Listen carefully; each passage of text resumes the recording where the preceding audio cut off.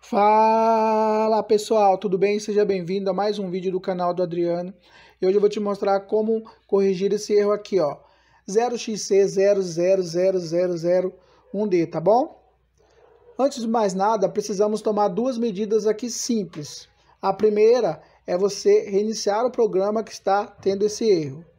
Se não resolver, reinicie o seu computador ou seu notebook e verifique se esse erro foi solucionado.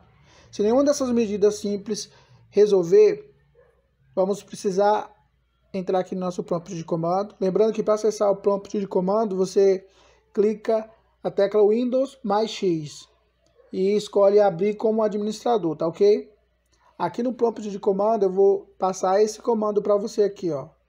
sfc espaço barra scanner. sfc espaço barra scanner. Você dá um enter, espera o processo, observa que já vai aparecer aqui as, as letrinhas. Ele vai estar verificando todos os seus, todos os seus arquivos, todos os seus, seus programas. É necessário esperar o processo inteiro, tá bom, pessoal? Não pode ser interrompido, pode ser que demore um pouco. Quando terminar, você pode fechar aqui o prompt de comando e reinicia sua máquina e esse erro vai estar resolvido, tá bom, pessoal?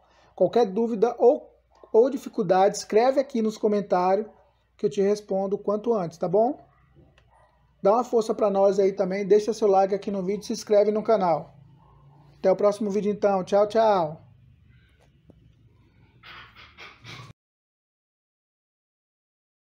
Meu